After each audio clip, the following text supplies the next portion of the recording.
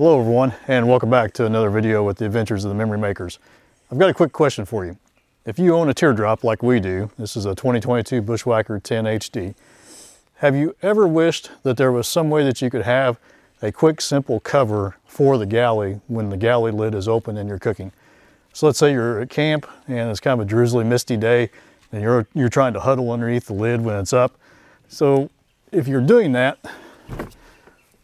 you know, you've got very little distance here from the edge of the lid and You're in here trying to huddle to stay dry. It would just be nice to have something quick, simple, and effective that would give you a little bit more cover and protection while you're in the, in the galley cooking. So if you're like me, that's just something that you've always wanted. And what I did was, you know, I weighed the pros and cons of all the different options out there from the easy ups that people set up over top their campers to the awnings that they attach to their camper and they extend back over the galley you know, and I, each one has its pros, each one has its cons. I didn't want to do the, the additional awning because of all the guidelines that go off of it. So what I did was I came up with a, a simple idea, at least I thought was simple, um, to create my own galley end wall, similar to what the awnings like the ARB and the Ironman have. They have end walls that attach to the outside edge of the camper to extend that and give a little protection. So I looked at those and I thought, you know, that'd be pretty simple to make. So I ordered in some material and started sewing and came up with something that uh, I think turned out pretty slick. So let me show you how easy this is to set up. So if you already have your camper leveled and set up like this one is, you're ready to proceed to the next step. And the one thing that I did um, in order to prevent this lid from coming down from the weight of my end wall back here on the end once I tension that with the, the uh, stakes in the ground, was I looked and I looked and I finally found the perfect material to do this. What I got was, it's 3 8 inch PEX waterline material and I slid it on my table saw and put a groove down it. So what it does is it snaps right around the metal portion of my nitrogen strut. And what that does is it prevents the weight of that or the load of my galley end wall from pulling that down. So I made one for each side. They just snap right on like that. And now I don't have to worry about the galley end wall pulling my lid down.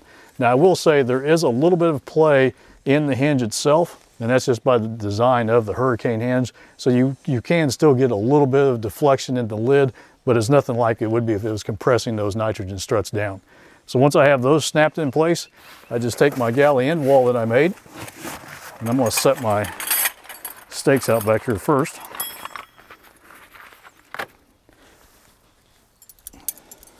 About where I think the end wall is going to end.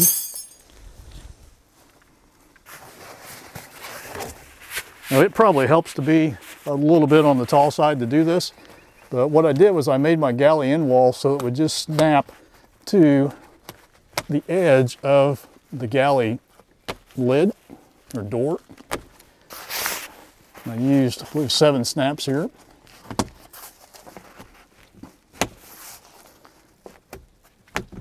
So once that's attached, it's attached to the top. I just let it unroll out here in my hands.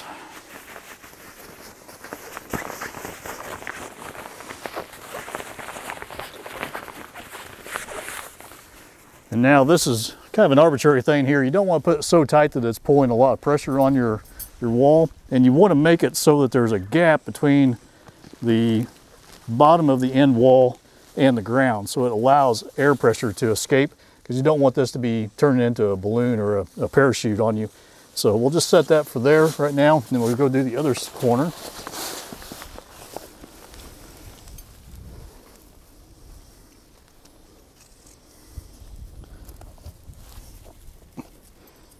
And I will say for those of you that have seen the other video that we did earlier today on the, uh, the new stabilizer jacks and the, the rear hitch, I do own more than one shirt. It's just, it was such a nice day. We decided to record a couple videos and get some film in the bank for the not so nice days. So now we've got the back of the galley wall stretched out. The sides, all I do here is bring it around.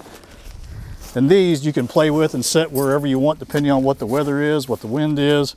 You know, if you don't even want to put them out, and one change I think I am going to make is I, I think I will add a couple of extra grommets to the sidewalls so I have a little bit more flexibility on where I position the stake at.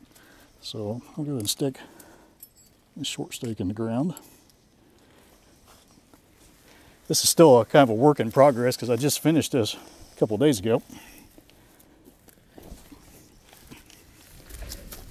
So we'll go with that. We'll swing around to the right side.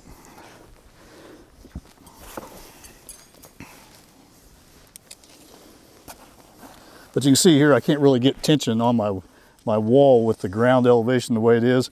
So I think if I put another set of grommets in the sides up here at this area, that will take care of that and give me a little bit more options on where to use my tie downs at. it's that simple. So now we've got protection from the elements on the end of the galley. And what we can also do, if you watched any of our previous videos, is we have a video out on how to do galley wing walls. So we can set that up.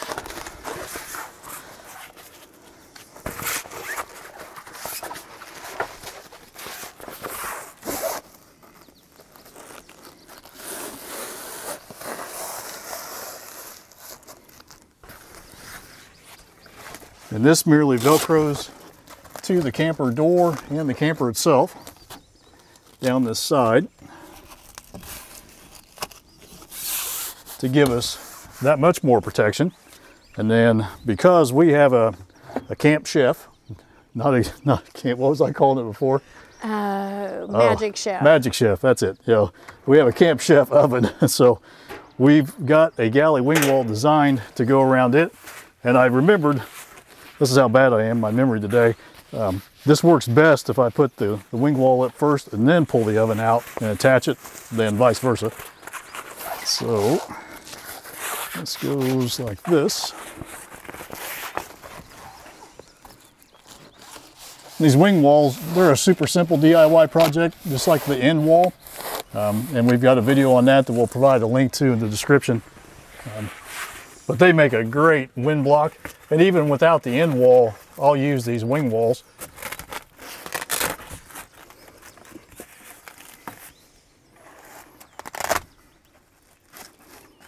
So there we got that. And we'll pull our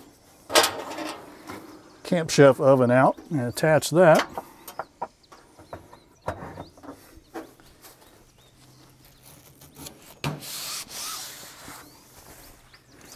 So there, in a matter of what, two, three minutes, we now have almost a full enclosure for our teardrop galley.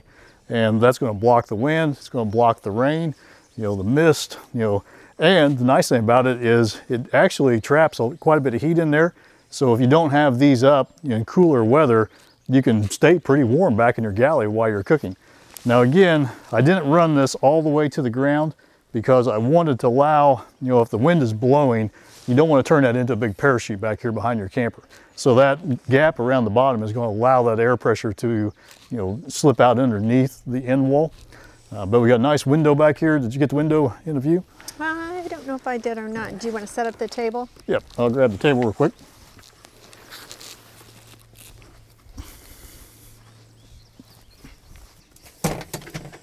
So let me move this wall back so that you can see in there a little better. And that's the great thing about it is it's very customizable for your, you know, however your setup is. You can pull this back, you'll allow a bigger entry area into it. Um, or just get it out of the way for better filming. Let's do that. Let's just flip him over there. So you can see we've got room for a table on the inside. We've got you know the nice window here letting light in, uh, which is really nice in the daytime when it's brighter out. And then we can turn our lights on inside. And you know, we got plenty of room to cook. We're protected from the elements. Now, I have had people ask me about the actual galley wing walls and whether they would prevent water from coming in up here in this corner. And one of the big issues that the Bushwhacker has is almost all of them leak right here in the corner of your galley hinge. And that hurricane hinge, it's a great design for the hinge itself, but they cut it too short when they built the campers. So what happens is the water comes down your, your lid gets collected in that hurricane hinge, runs off to the side, and on the factory hinge, it ends right at this opening. So the water just runs right inside. What people have asked me is if the galley wing wall will prevent that water from running in their galley. The answer is no. It's going to run in somewhere, even if this diverts it a little bit, it's going to run in down at the bottom. So the fix to that is to extend that hinge, and there are multiple ways to do that. Uh, we did a video early on about how we replaced that lower section of hinge, and that gets the water out so that it runs down this channel, which is designed between these two, between the molding and the rubber, to act as a rain channel to get that water to stay out of your galley. And again, if the wind is really blowing hard, it's not going to prevent it anyway because the wind's going to blow it in your galley. so, but in a light misting rain, you know, something along those lines, this is an awesome setup. Like I said, you got plenty of room for a table in there. So generally it's just me working in the galley. Um, Cindy's on fire detail most of the time. So there is plenty of room in here for me to work. You know, I got my refrigerator, got counter space, got my table for extra space here. So it's just a, yeah, probably is. Um, it's just a really nice setup. And, you know, we're going to show you here in the next part of the video what you will need to do this yourself and, you know, essentially how, you know, a few tips and tricks that I used along the way. But it's, it's pretty much straight sewing. I mean, it's all straight seams for the most part. It's just a very, very big project, you know, when you get it all put together. So you need a big space in order to do this. But that said, it's very simple, very doable and we'll go over and set up and show you you know how we did the window and how we got that top set up there so that you know you can feel very confident in tackling this yourself. So for about a hundred bucks in materials you know in an afternoon of your time i think once you watch the second part of this video you'll be able to whip something up like this for yourself. And even if you don't have a bushwhacker as long as your door goes up high enough to give you the headroom that you need you know, I'm 6'1", so I need some pretty good headroom, but you know, if you're a shorter individual and you have a smaller teardrop, as long as that door goes up high enough to give you headroom underneath, you can do something like this in the afternoon and, and have some protection for you at your galley. So let's go over and uh, show you what you'll need and, and how we, we actually did this and we'll pick up from there. Okay, over here in the shop, what we're going to do is just do a quick rundown of the materials that I used in order to produce the galley end wall and share a little bit of the where I got those from and, and what it is. Um, obviously, you know, you're going to be sewing, so you're going to need a sewing machine. Um, and this is a, a Sailrite LSZ1. Uh, it is a basically an industrial walking foot sewing machine, but don't think that you need that in order to do this. This material, um, I think there was probably only one spot uh, where it got kind of thick to the point where you know, I would have had to slow down a little bit with my Kenmore in order to sew this. The average home sewing machine should do this project just fine. Um, but you need a big area to do it. And I can't caution you, I can't you know, stress that enough because I built this sewing table for this machine. It's recessed into it, which is really nice because it's level at the top. But in all honesty, it's not big enough. You know, I wish this area was like eight by eight off of this side because the moment that you're sewing along and that top falls off your table, it starts pulling at your top and then it's a fight, you know, to get it back on. You know, it just takes time. You got to work your way through it. Uh, but the average home sewing machine will do this project just fine. Obviously, you're going to need some material. Uh, this is just a scrap piece that we're going to use for demonstration purposes, uh, but I'll put a link in the description to what I used. And it comes in a 60 inch wide lit, length, width, I guess not length, it'd be width. Um, and I ordered in, just for the galley end wall, I ordered six yards. Um, so that gave me my three yard piece for the, the actual back part, and then it left me a three yard piece um, for the two sides. And that worked out really well. Now I will caution this, uh, if you're going, if you think you want to do both the end wall and the wing walls on the side, get the material for both at the same time. Don't do what I did. I ordered material, you know, back first of the year for the wing walls. Uh, then I ordered what I thought was the same material for the end wall it came off a different roll of material. It's not the same gray as what the original gray was. So I just caution, you know, no matter where you get it from, whether it be eBay, Sailrite, or Joann's, or any place like that, get it all at the same time and preferably off the same bolt of fabric so that they all match. And I, I know Cindy's standing over thinking, ooh, gray. you don't have to do gray. You can do any color that you want. There, there's a wide variety of colors in this outdoor mater uh, material. And this is basically a Sunrite, or some Sunrite, a Sunbrella knockoff material that I get off of eBay. It's very economical to use and, and it lasts, you know, our boat cover I made back in 2013 or 14 and it's still humming right along. So it's a good product, you know, especially for something like this, it's not going to see constant everyday use. So I'll put the links to the material in there. So you got your machine, got your, your surface you're going to do it on, you got your material. I, I can't recommend enough, uh, like a four foot or longer metal straight edge. Um, and I even used a piece of wood that was like eight feet long when it came to doing my corners and used this conjunction with it because you're going to make some pretty long uh, marks on this project. Um, obviously you want scissors.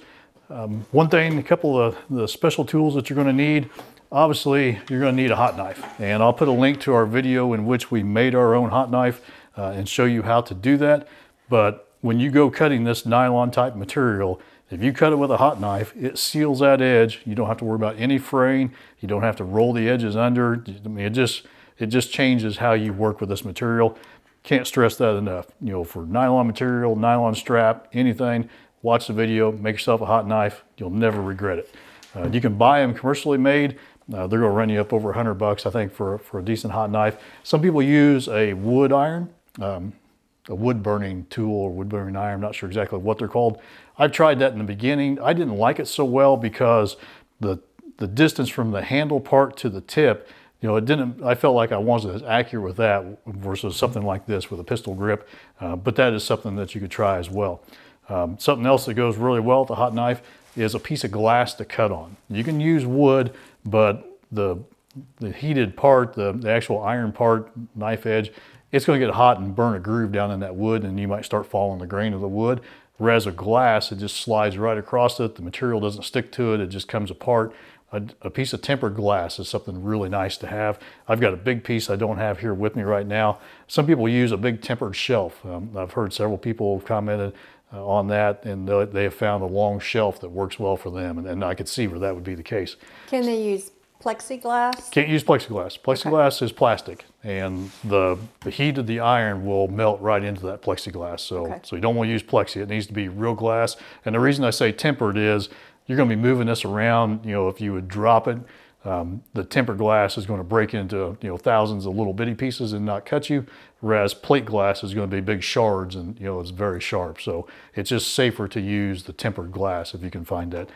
And like I said, those shelves work really well. Um, I'm sure, I can't think of where I've seen it at, but in stores there have been shelf units that have like glass shelves that go in, and that's probably gonna be tempered glass. One of the uh, first tools you're gonna use once you get your first seam in the, in the, the galley end wall is a snap kit. And the snaps that I used, kind of a combination here, um, the snaps I used on the door itself are these threaded stem uh, stainless steel marine snaps. And I get these from eBay, or not eBay, these came from Amazon, and I'll put a link to those. So these actually screw into the upper edge of your door. And then the part that snaps to that, you know, is a marine kit as well. And there are several different types of snap tools out there. Um, you know, I've got one set here that I use. Um, this is made with a pair of vice grips. It works really well for crimping on thin material. Now on this project, and I'll show you later in the video why this is important, I use this old tool and I honestly don't know where I got it from. I've had it so long, but this allows me to compress that snap base down around the stem so I get a good tight crimp on the stem when it comes up through. So if you can find something like that, that works well. You actually put this down and strike it with a hammer and I'll show that later in the video. But you're gonna need these snaps and a snap tool. And like I said, Can I see the top, the front? Yeah. Honestly, I don't think that is where that came from. This just happened oh. to be oh. a oh. box of snaps I got in that I stored okay, it in. Mind. Yeah, so um, and in order to put the snaps in the material, you're going to need a hole punch. And this is a, an old set. I don't even think they have a name on them anywhere, but I've had these for, gosh, probably 30 years now. And I see these in antique stores and would recommend that if you want a good hole punch, go to an antique store and get an old one. These tend to be sharper, stay sharper longer. They've got a nice brass base on them to, to, to punch them through with, different size holes. Um, next pair I see, I'm gonna pick up a spare pair just to have you know on hand because the old ones work so much better than the new ones. So you've got your snaps, your snap tools, and then for the the straps that you saw me put the stakes in that actually anchor to the end wall to the ground, you're going to need a grommet tool in order to install those grommets in that black nylon strap. Um, and this one, I believe, came from Harbor Freight, if I remember correctly. It was either Harbor Freight or Home Depot. I'll find it and leave a link in the description as well. But there are two different size of grommets uh, in this kit, and I used the smaller set for those quarter inch stakes to go down through it. Uh, but it has all the tools in there that you need in order to install grommets. And something I'm thinking about doing is these, um, if you've ever used a grommet tool before, you get this cutter and this is what cuts the hole in your material and you can see that edge is chamfered and kind of sharpened. I'm gonna find some way to hook this up to my soldering iron that I use for my hot knife so that I can heat that up and essentially melt my way through the material uh, and get a nice clean hole versus having to hammer on it repeatedly with a hammer. Uh, I just think that'd be a, a, lot nicer setup. So I think I'm gonna use a piece of copper for that and I'll probably put a video out on that when I get to that point.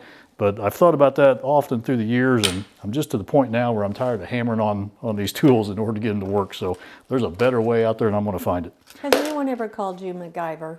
No, they've called me a lot of things, but I don't think I've ever been called MacGyver. but you'll need your snap kit. Obviously, you need a pair of scissors. Um, you know, you'll need Jack the Ripper if you're like me and screw something up. Um, I used a, a, UV rated heavy duty four ounce thread from Sailrite. Uh, you could probably get by if you're using a standard home style sewing machine. Um, you could get by with uh, Coats and Clark UV rated upholstery thread. I've used that a lot with my old Kenmore on, on projects, so it works well.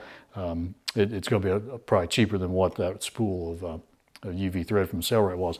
Now, the one thing that I do really recommend from Sailrite on this project, and you're going to see a little later on when we go to put the window in, is this canvas basting tape. And the, the idea behind this tape is it, it kind of acts as a temporary bond between materials. And we're going to use this when we install our window to hold our window in place and all flat so that we don't get any puckers and blisters in our windows. We go to, to, uh, to sew it down. And I will put a link to, in the description for this basting tape, but you're gonna see how slick this is later on in the video. And, and once you see it, you're definitely gonna want it in order to put your windows in. Um, you know, I've even used it before with actually, you know, with some seams that I'm having a hard time holding things together while I'm trying to put it together. I can put together this basting tape, you know, leave some extra and then pull the back part and get rid of it when I'm done. So it's just like a temporary bond uh, for your materials that you're sewing together to hold everything in place. But this is a wonderful product. And as you can see, I'm about out. So I'm gonna have to order some more of this and link will be in the description. So that, you know, other than a big area to work with, um, and over by the camper, you'll see later in the video that I had a big board and some clamps I used because I can't drive stakes in concrete. So I had to find some way to hold things back off the, the camper. Uh, so there'll be some things that, that you'll find that you need in addition to that, but, but this pretty well covers it.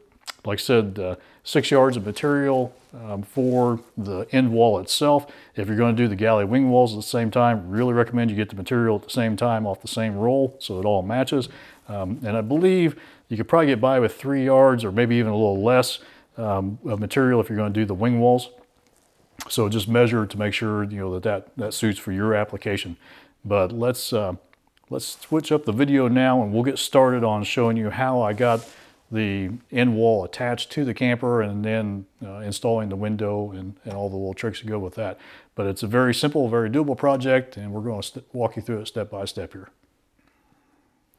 Like I said, I'm just going to do a quick demonstration here on a cut down version with this scrap piece of material and show you how I did the, um, the top of the seam or the top of the, the end wall and get you started on the snaps and then I'll show you how I did the, the window as well. The rest of it is pretty much just straightforward sewing. You know, there's something sexy about a man in a sewing machine. Boy, I was doing it wrong all those years in high school. I'm not sure a high schooler would have thought that was sexy. Well, there's the problem.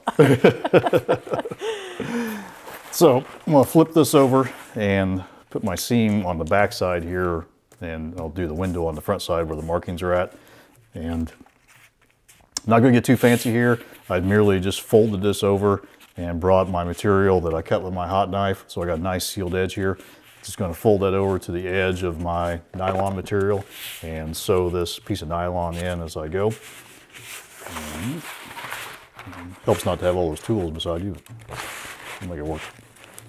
And, and several people on the, the Facebook page commented on the sewing machine itself. And I, I got with a few of them and, and gave them my initial ideas of it. It's a fine sewing machine, um, but that said, there are things about it that I really um, weren't real fond of. And may never be fond of, to be honest with you. The, um,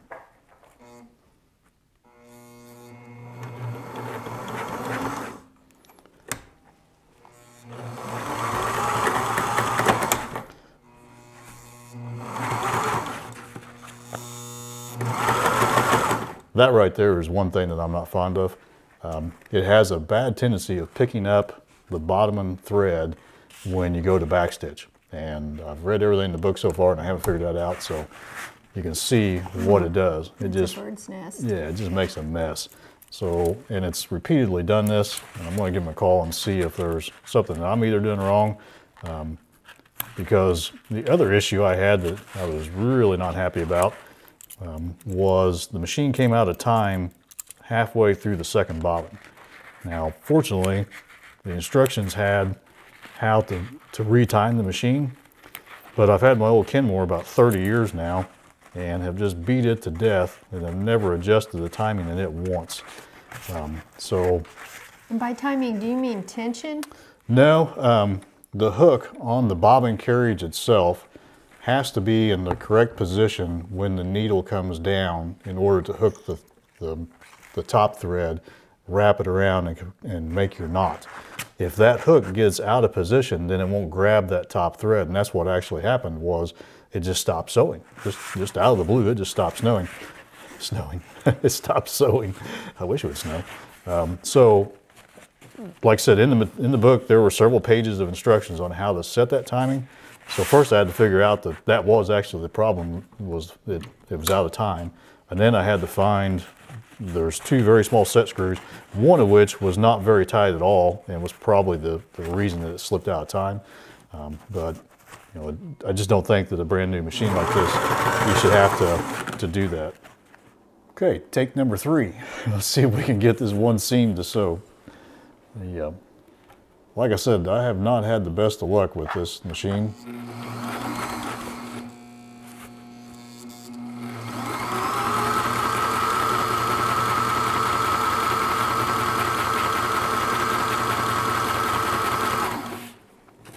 Is it sewing? Yay! Yay, it looks good. We might actually have a winner here.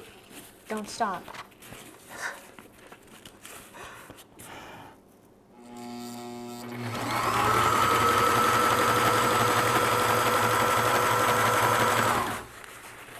So just keep working your way down, keeping that nylon pretty tight in your seam there.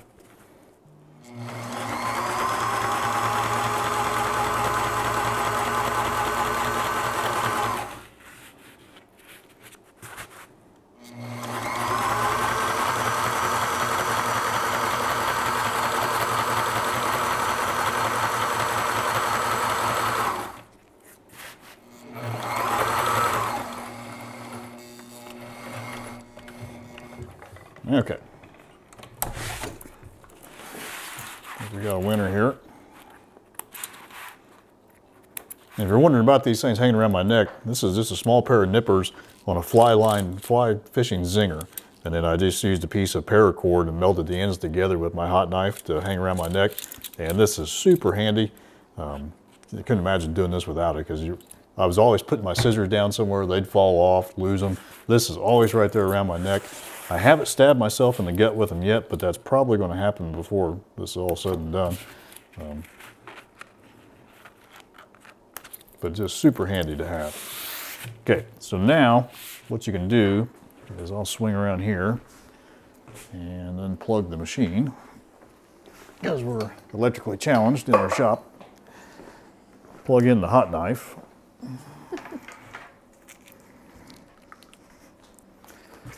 And since I forgot my glass, we're just going to trim off this nylon here. Squeeze the trigger, let it warm up a second. Just melt this right off. That's pretty thick nylon, so it takes a cut or two. And it just heats that up and seals that edge. You can just see how it shines right there. Wait a minute, it's not, okay. That's a close up. So it just melts that edge and it will not fray once you melt that edge like that. Um, if you cut that with a pair of scissors, you know, it'll be a hairy mess in a couple days. Let's cut her off, seal it. So now, that's essentially what I had to start with. it's just 60 inches wide. It was actually a little wider than that.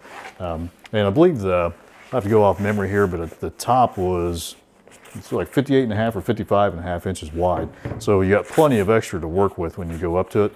So what you want to do is find your center. That's 30 inches, I believe. Yeah, so 30 inches. So we're just going to put a mark here at 15. And now we're to switch gears and get our hole punch. And I just kind of eyeballed center and you're just going to give a good squeeze and it will snap through all that. Is that hard to do? I mean, it takes some pretty good hand force to squeeze it, but if you find a good pair of these, like this old pair here, um, that metal is, is nice, nice metal. The new ones are kind of blunt edge and they're even harder to do yet, but if you find a good old pair in an antique mall, uh, pick them up because they're, they're worth keeping. So you get your, your hole punched in there, so then you can get your snap pieces. And they may be, let's see, here's a cap and I'm getting feedback. from my scissors. I don't know.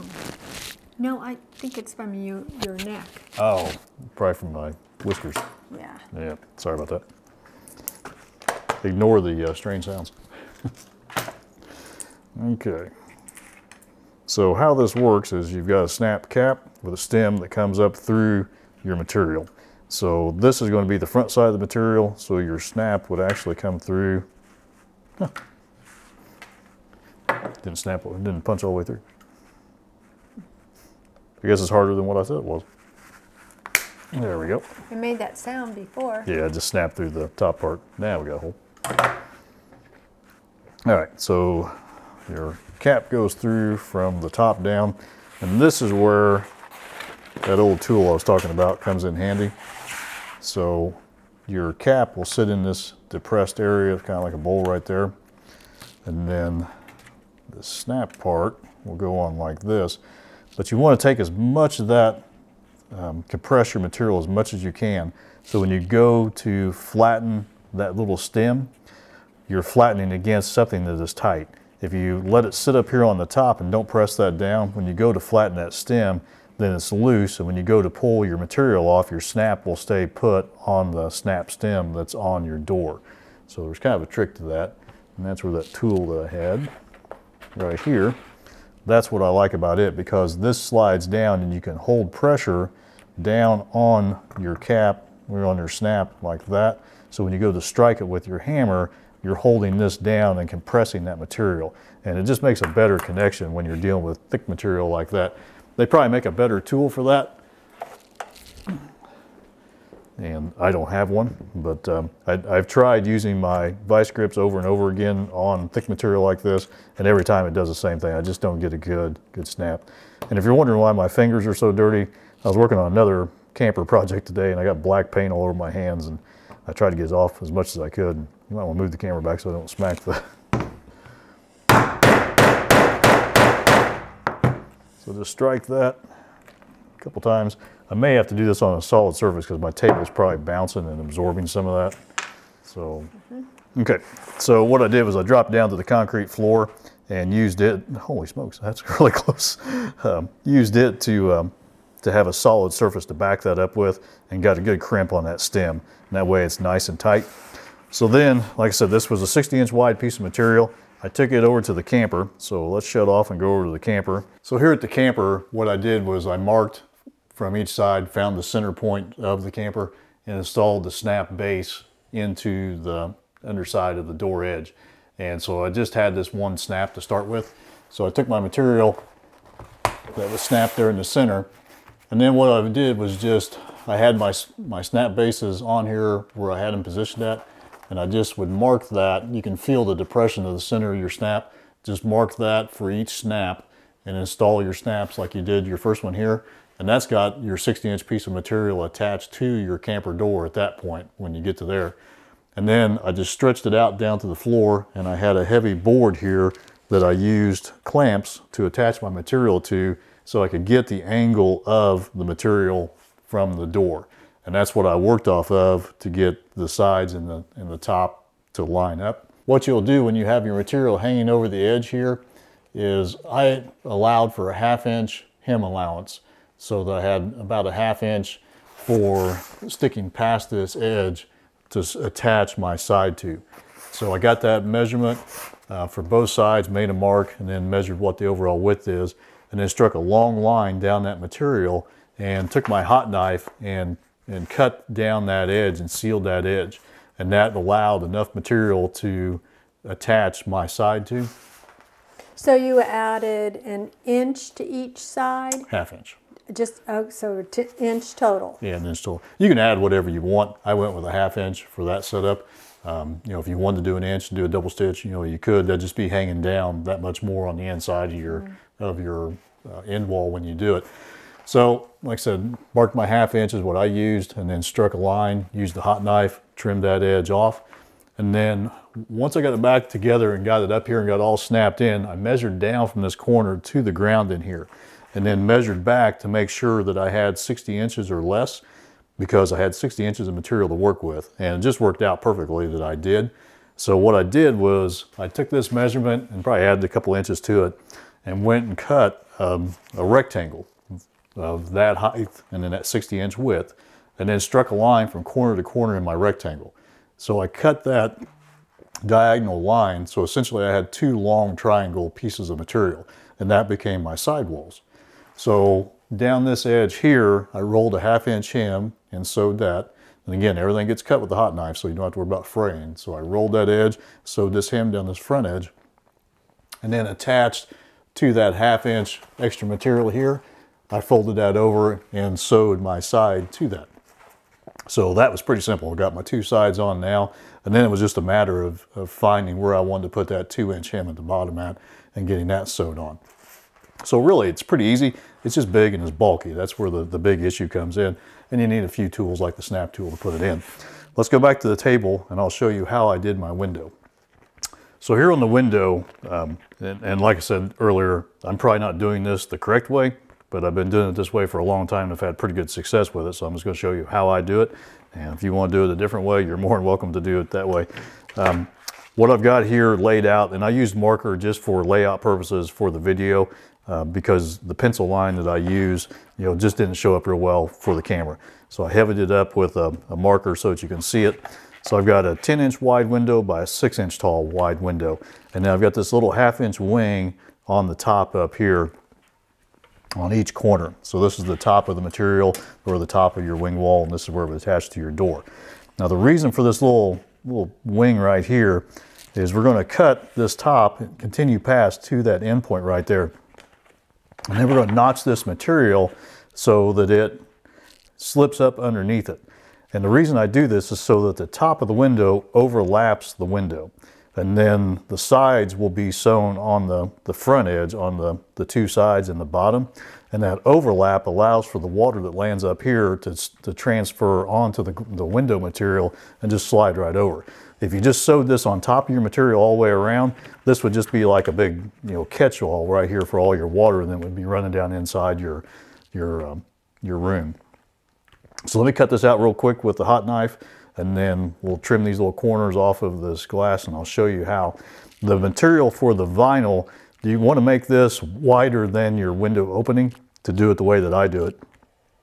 And the reason for that is we're going to take this canvas basting tape and attach the window on the front and then up the top on the back to the material. And the reason for doing that is it's real easy when you go, especially the size window that I put in our uh, end wall, when you get that big, it's really easy to get a pucker in your material as you go sewing along. But if you use this basting tape and get everything laid down flat before you start, then you can sew right along your edge with, you know, I don't think we got any puckers in, in the window I put in the other end wall. smooth. Yeah, so this is a really nice product. And again, I get this from Sailrite. So let me um, turn the camera off here. I'll cut this out real quick with a hot knife and we'll get back with you. Okay, we've got our window cut out now with our hot knife. And you can see the little extensions that I made here. And then the little cuts past. And then I trimmed the window so that I've got one inch at the top to work with. And this will go up underneath the top of the material. And this just slides up under the material like this. And you just bring it up tight till it's touching right there. And now what I'll do is I'll put the basting tape here outside of, and I typically put a few little pencil marks here, and you won't see these when we're done. and this gives me an idea where the outside of the material is at. And then flip this over and do the same thing on the back.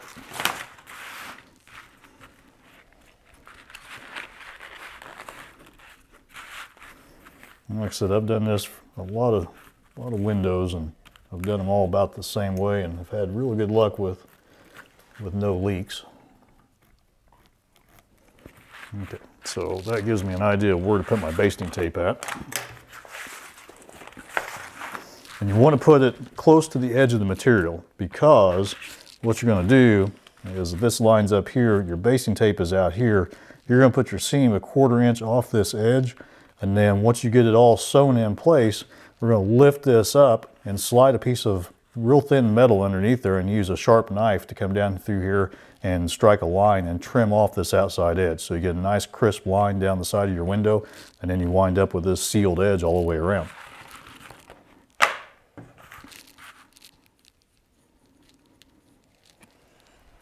I'll probably run out of this, so I may just do a side or two to show you how this works. So we're just going to go down through here. Turn that off. And I'm putting this to that real faint pencil mark that I put so I knew where I, to go with my tape so I'd have room for my seam. And this isn't super tacky, but it's tacky enough that it will hold your vinyl window material in place so that you can sew and not have to worry about getting all those crazy puckers in your, your vinyl material.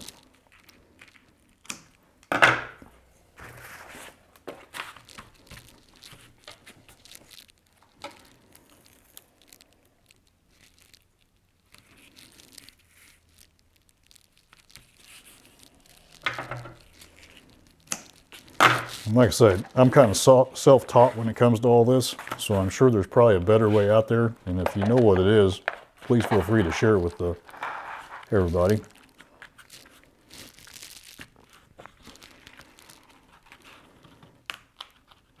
So now we just peel her backing up. Tape stays down.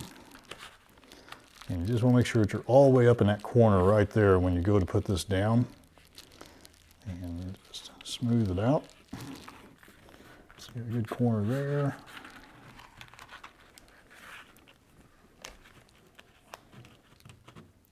like I said, my hands aren't normally this dirty, but that paint, I used everything I had in the garage trying to get it off, and it's going to have to wear off. It's amazing how paint sticks so much better to your skin than it does to any surfaces you're trying to put it on. All right. Lost patience. There we go with that. Make sure you're up in that corner all the way there.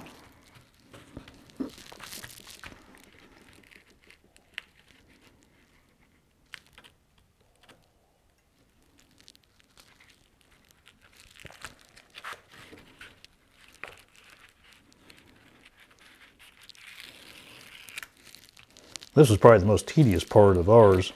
the sewing the hem was the hardest part just because everything was already together.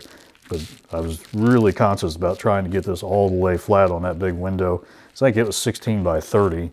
So it was about the size of this paper. Well, in fact, that's probably what it came from. This is probably the, the window scrap that I had left over when I cut it out. It just dawned on me why I had that. I'm gonna lift this up and trim this tape off so it's not sticking past my window edge because it will stick to the, the top of my table if I don't. And I remember when I did the, the windows in the sewing or in the sailboat tent cover, the old Kenmore machine that I was using, the it didn't allow this vinyl to slide across the table. And oh my gosh, I was about to pull my hair out trying to figure out how to get that stuff to slide over. There was something about the table, it just, it just really stuck to it. So what I wound up doing was covering the table with painter's tape. And um, it worked really slick after that. But you can use tissue paper too. Didn't have that. Gotta remember, it's a man sewing. so, so there we go. So now everything is taped down. You got a nice crisp window with no, no puckers in your edge. And when you sew this down, everything will stay put and you won't get those puckers in the end between your material and your vinyl window. So let me go around this real quick and sew a, sew a seam. We're back here, we got everything held down with the basting tape and we're just gonna sew a seam around this. And I'm gonna go like a quarter inch off of the edge of the opening with my seam. That's the plan anyway, we'll see how this goes. And I'm having a struggle with my pedal because the bottom is slick and this concrete, it just, I keep chasing my pedal across the floor.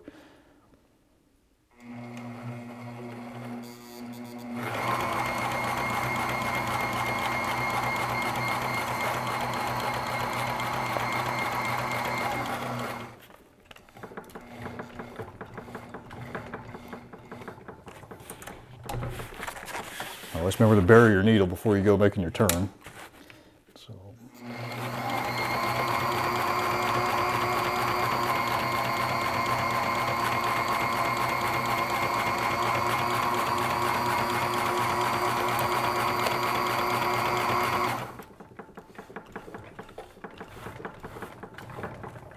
A little further than I want it.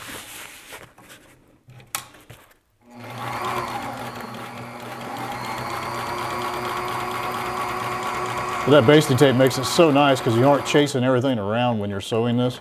Everything just stays put.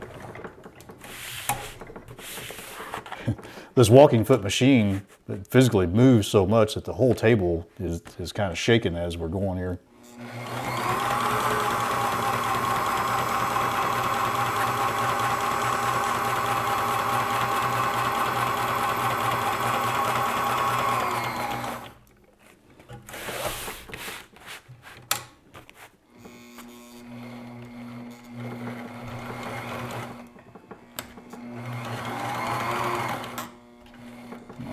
Stitch in.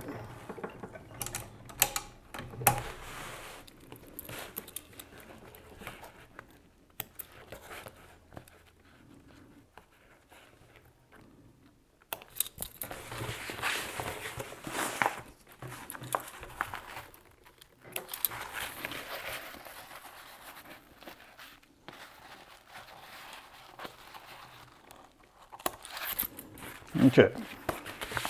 So there we've got our windows sewn in. And what I use typically is a piece of coil stock. And that's just a thin piece of aluminum trim. So I'm going to peel this up and lift it up like this. And I'm going to slip this piece of coil stock underneath that window material. If I had my shears with me, I'd shorten that up, but I don't have them with me the moment. So take it right up to where you want it at. So I take it and put it all the way to my to my stitch, like that. And then I can just put the material, put that tape right back down and it'll stay place. Take my metal straight edge and put where I want the straight edge or where I want my cut to be. And that metal underneath there will prevent me from cutting through to my material. I learned that the hard way. so just take a nice sharp knife, just keep it right up against your straight edge. And on that long window that I did, which is what this piece of material came from, I actually clamped this straight edge down so to make sure that it didn't slip on me while I was doing this. If it can happen, it will happen. So just peel that off, get that underneath there. Look at that nice straight edge that you got right there on your window. It's beautiful. Yeah. So you do the same thing for your other two sides, flip it over, do the same thing for your, your top, and your window's done. That basting tape though, and like I said, I'll put the link in the description for that from Sailrite. That's the ticket for holding all this down and keeping your material nice and taut so that you don't get those puckers. So that is pretty much it. The, uh, get rid of this for a second. you know what I've noticed? Man sewing is a lot louder than woman sewing. It's because we get her done. It's because you're loud. well, that too. So the only other thing, you know, after, let's see, when did I put the window in? I'm trying to think. I guess I put the window in before I put the sides on the, the end wall. Uh, that was probably the easiest time to do it. I definitely wouldn't want to do it after I get it all together because like I said, it was just sewing that seam around the bottom with everything together was just a struggle trying to keep everything on the table. Um, you know, and the bigger the table that you can come up with, the better off you're going to be on a big project like this. That, that's probably the best, strongest tip I can give you is find a really big table or multiple folding tables and put them together so that you can keep everything up on the same plane. Um, but from this point, you know, like I said, if you get your sides sewn on, you do that hem at the bottom. Um, I put four straps, like six inches long, uh, with like four inches hanging off of the edge of the, the of the uh, room, and you probably saw that earlier in the video. And then I put my grommets in the bottom of that. And I may go add a few more grommets up closer to the material, so the different elevations that we're on, it gives me a different place to to fasten those down. But um, that, that's pretty much it. it. It's a pretty simple project. Um, it's just big, and you know, just take your time, work through it. You know, the snap material. You know, pick up those on Amazon. I'll put the links for for those snaps in there. Um, you know, and just play with the, the placement of the snaps in your door as far as where they put the, the fasteners at and, and get as close as you can. And, you know, I think, um, I think the average individual should be able to do this without any problem. You, what do you think? Well, I mean, you keep saying how easy it is, and compared to some things you've done, it probably is, but I think it's kind of intimidating. You're defeating my video. My whole thing was, the whole Sorry. purpose was to instill confidence in people so they could do this to themselves. Well, so don't listen to Cindy, just listen to me. yeah, don't listen to me. I don't know what I'm Uh, talking it- about. it's pretty straightforward. And like I said, the email is there in the uh, in the description. So if you have any questions, just reach out to us. We'll be we'll be glad to help you however we can. So I hope this helps someone. You know, if nothing else, do the exact opposite what I did, and you might have pretty good luck. um, but you know, it, it's pretty simple. So hope everyone enjoyed this, learned something from it, and uh, you know, it, if it inspires someone to, to give it a try, that's that's a winner. So the uh, you know, a bug biting me in the back of my neck already. It's too early for bugs. It is. Nope, it's a ladybug. Oh, So there we go. they are around. Yeah. So thanks everybody for watching, and uh, you know, hope you stick around and uh, watch our next videos that come out, and uh, we'll see you soon. Bye.